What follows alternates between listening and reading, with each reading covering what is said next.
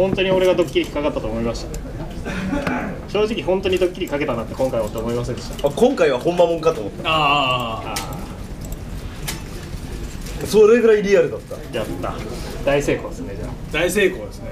俳優やれるな。俳優やれる。俳優やれるな。逆ドッキリ限定の俳優やれる。逆の限定の俳優。なんでいついつなの？てってれぼなくした役はやれるよ まあなそう。普段の滑舌だとちょっと舞台に立たせるのはちょっと。そうっすね。なんでだよ。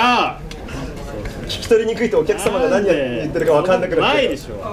あじゃあ滑舌の悪い人っていう役だったら いけるいけるいける。いける。滑舌悪いけどドッキリ棒なくしちゃった人。その役。